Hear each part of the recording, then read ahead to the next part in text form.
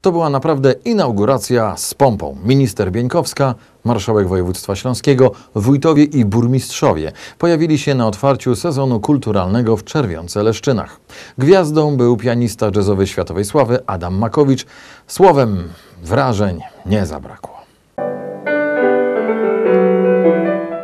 Adam Makowicz, światowej sławy muzyk jazzowy, otwierał kolejny sezon artystyczno-kulturalny w Centrum Kulturalno-Edukacyjnym w Czerwionce-Leszczynach. Mistrz pianina po raz pierwszy występował przed czerwieńską publiką, choć jak przyznał, gościł już przed laty w Czerwionce.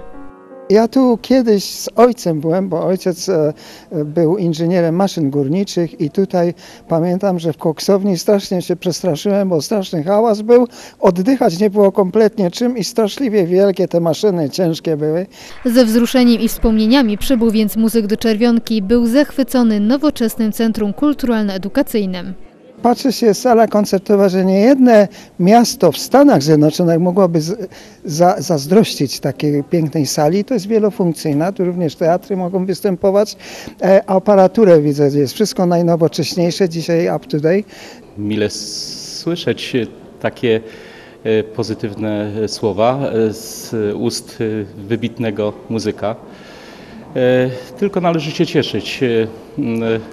Mamy już ponad rok od e, inauguracji naszego centrum. W minioną niedzielę po raz drugi inaugurowano sezon kulturalny i tak jak w zeszłym roku rozpoczynała go minister Elżbieta Bieńkowska.